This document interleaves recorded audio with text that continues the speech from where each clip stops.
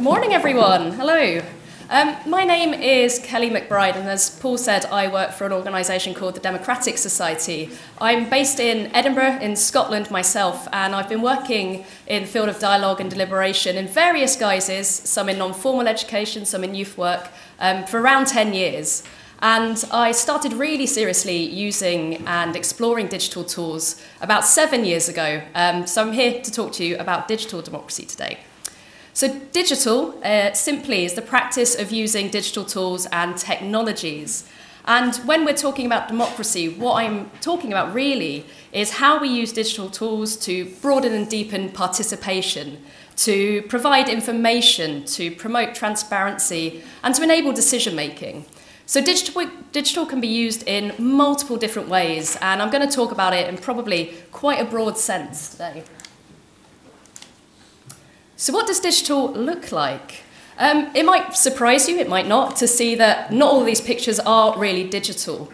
So the angle that we often take at DemSoc in the projects that we do is starting from a position of thinking about why, uh, what is the project we want to do and what do we want to achieve and how can digital or the use of technology support or enable those goals that you have. Sometimes it's absolutely appropriate to use digital, and it's a great idea to think of the different ways that you can integrate it into your projects. And in other settings, it's maybe not appropriate. Um, but in multiple settings, we tend to use digital uh, alongside processes that are also conducted offline. So, digital can be people sitting at home, reading information, generating ideas, participating in something you've set up. It can also be you taking your mobile technology and doing like I was doing in that middle picture, visiting a care home to talk about the ideas that have been generated in the community for how to spend local budgets. It can also be uh, used in events that you have. So people come and they use digital technology to look at the different things that have been suggested by the community and maybe vote. Uh, and I'll talk a bit more about that in a moment. But it also is the way that you can, for example, generate ideas both online and offline. And all of that stuff that is generated is brought together at a local community event uh, where people then have the opportunity to develop proposals, develop ideas, and maybe also vote. So digital can be used in multiple different ways. Um, and of course, you know, sometimes people talk about how digital can't completely replace face to face. Uh, we see a lot of processes that use digital only, but as I've already uh, emphasised, we use a lot that see digital as one component of a broader process. Um, and it really it is about just finding the best fits. So, some benefits of using digital. Um, there are multiple, but I've just highlighted a few here. So, of course, reaching new audiences. Um, we often, in the work that we do, have that kind of threshold problem the problem of getting people over the barrier uh, into the physical space, into the room. Sometimes digital can help to involve people in different ways that may not have crossed that threshold yet. Although my experience, um, if I think about a participatory budgeting project where I personally live, I've noticed that people that engage with that process online over about two to three years actually then in the fourth year went to the physical event themselves. So they kind of build up an understanding of the process and then engaged in a different way. Um, it can involve more people in decision making. It can overcome barriers of place and time.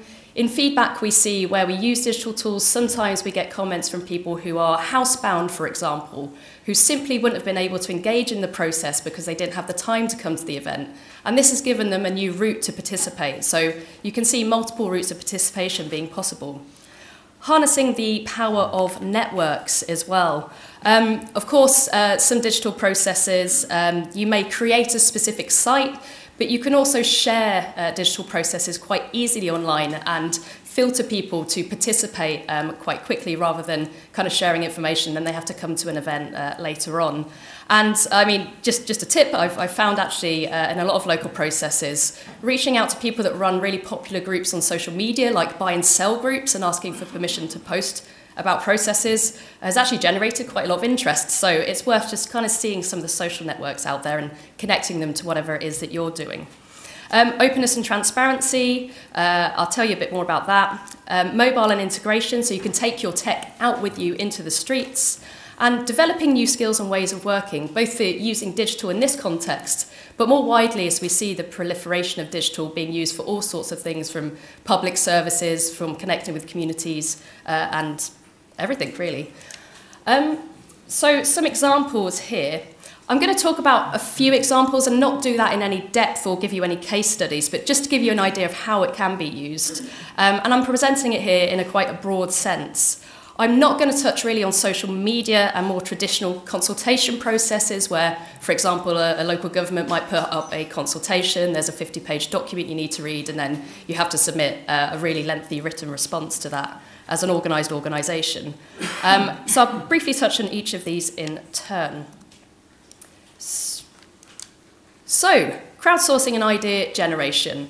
Um, essentially, if you have a question or an issue that you want to solve, or you want some input and ideas for how you could go about doing that, crowdsourcing idea generation is a great way to do it. I see this used quite regularly in things like participatory budgeting, um, but I've also seen it in the example we have up here, um, the Welsh Assembly on the future of agriculture in Wales, on environmental projects, on transport, uh, ideas for community projects, uh, language projects, health projects. So basically, crowdsourcing and idea generation is giving a chance for people to say, I have an idea, this is what it is. Uh, it's presented here in quite a basic form, but you can attach all sorts of information, audio-visual media, and other things to some of the platforms that exist. Um, and this is just another example as well as something that's happened really recently in Scotland. Uh, the committee engagement unit there um, basically uh, used a tool to inform the local government and communities committee on what they should be focusing on uh, for the next period of time. And they had quite a bit of engagement increase uh, by using a digital tool. Another idea is collaborative drafting and proposals. Um, so examples I have up here, uh, one city put up their future plan, um, which I think was 10, maybe 20 year plan, and they got the public to comment on those draft proposals and also suggest edits that could be incorporated. There was also a space to discuss the proposals and other things. Um, some people like to use things like Google Docs as well to kind of get some, some insight, but I'm aware that not everyone likes to use tools like that. But there are some free options out there that you could possibly use if you wanted people to get involved in commenting and improving on different uh, proposals. And another example, um, it's been used in lawmaking uh, for collaborative online lawmaking. Um, there was a good example from Brazil a few years ago, uh, but it has been used for purposes like that too. So deliberation, and I know that's going to be really at the heart of what we're going to be discussing um, over the course of the day, I'm sure. Um, there's a few things to say about online deliberation. I mean, I think the space that a lot of us use when we're talking about issues online, um, social media is obviously very popular, but social media isn't necessarily set up to be a site of healthy debates. There are some organisations uh, that have put a lot of work into thinking about how you could structure online spaces to have conversations, to have debates, and to deliberate. I've just put a couple of examples up here, and maybe you'll be able to see how different this is from something uh, like a popular social media platform. So in this example on the left, uh, an organisation called Citizens Foundation in Iceland have put a lot of thought into this. So when someone posts an idea, they post a proposal, the way they've set up the, the deliberation, the debate below, um, is that people need to propose ideas for and ideas against. You're not immediately replying to something someone has said. It's not kind of a personal way of responding to a comment, but it's trying to put you in a position of thinking, actually, why do I support this or why do not do I not support this and what argument can I make uh, to try and convince others that are looking at this? So it's a slightly different way of setting it up. Um, this example from Consider It on the right uh, does a similar thing, but it also shows you kind of levels of uh, agreement or disagreement for different ideas too. So I think the key takeaway for this is the way that you set it up matters if you're looking to do deliberation online, and context obviously is also important. It might not be appropriate to set that up in your community, um, or you might want to set it up but ensure that you have moderation and facilitation support to make it work. Um, another thing I will say is it's often good to uh, co-design processes with people that are going to use it. Um, I know, for example, uh, a, a youth group I'm aware of in Scotland recently, they asked young people how they'd like to discuss matters with each other online. And they said, we don't want a new, new tool, we want to use something called Discord, which is a gaming app. Uh, and this was not a gaming youth group at all, but it was a platform that they were already on and familiar with and felt comfortable using to discuss issues. And some of those issues are actually around social justice and others. Um, so participatory budgeting Um, so digital can be used variously for things like participatory budgeting, which is where communities have a say in deciding how a pot of money is spent, typically at the local level.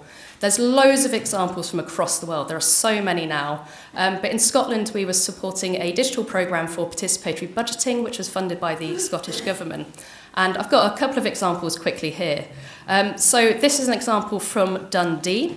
And uh, 112,508 votes were cast in their PB process, which suggested um, sorry, which suggested that participants also changed their minds and considered their options quite a lot. And you can see that because you can see which ideas were selected and removed throughout that voting process.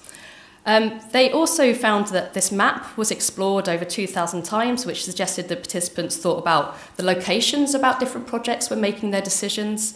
Um, and you'll see this in a lot of PB projects, that people like to set it up in a way that people consider uh, issues in communities that are not necessarily their own.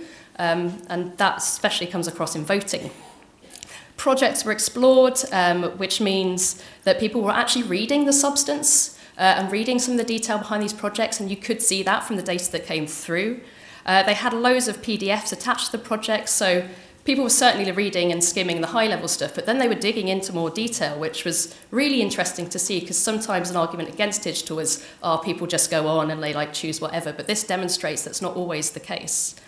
And they also did um, a lot of qualitative analysis, which suggested from the participants that they deliberated over their choices and had a desire to think about longer term benefits of their decisions. And if you see this kind of digital stuff play out in uh, offline spaces, it's really interesting to see the debate it actually generates amongst people. Um, and I've seen that having gone into schools and sat there with an iPad and, and had discussions with people, and then they've kind of generated discussions on their own. Um, just want to highlight here uh, that digital can also um, show you kind of where ideas are springing up. So you can install things like maps. Um, and voting, of course. I mean, you might be very aware that you can vote online, but you can do it in multiple different ways, um, depending on how you'd like to set up voting methods. It's not entirely rigid.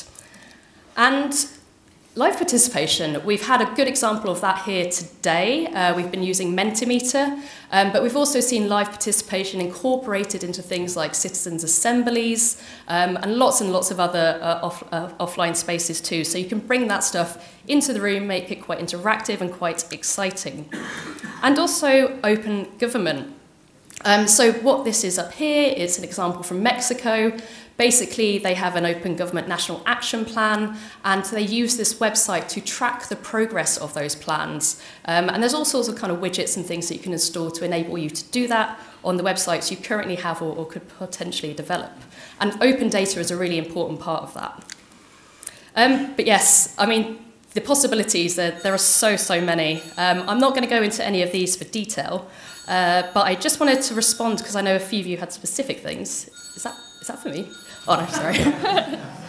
um, so in France, for example, they had a big citizen uh, consultation across the country, and they used a digital tool as a way to find out what conversations were happening in local places. They were publishing that information so anyone across the country could see what someone somewhere else was saying. And I think there is so much, and I would say still untested potential, to have networked conversations that are supported and enabled by digital as well. Um, I know there's things around uh, forum theatre um, and other creative methods that could be explored. Are there possibilities for digital interaction there? Could you potentially live stream some of the things that are happening or bring some participation via live stream uh, into the room? Um, circular economy apps, uh, there have been some apps that have been created for that. And digital for storytelling, um, don't forget about things like the potential participatory filmmaking and the way that you can connect, connect that media into some of the kind of apps and platforms and tools that exist to say, for example, this is my idea, we've made a short film about why we think it's important, we'd love you to vote on it or develop a proposal um, that will enable us to take it forward. So there's loads and loads of things to consider, which I'm sure we will talk about over the course of today. Um, but yeah, I think the key takeaway is that digital can absolutely enhance and enable some of the processes that, that, that you, you might be doing here today. Um, you don't have to do digital only processes. It's really possible to integrate digital into processes that involve offline spaces as well. You just need to be quite smart and savvy about how you do it and ensure it all connects. But that's part of a good design process. Um, and hopefully we'll have some great chats about that.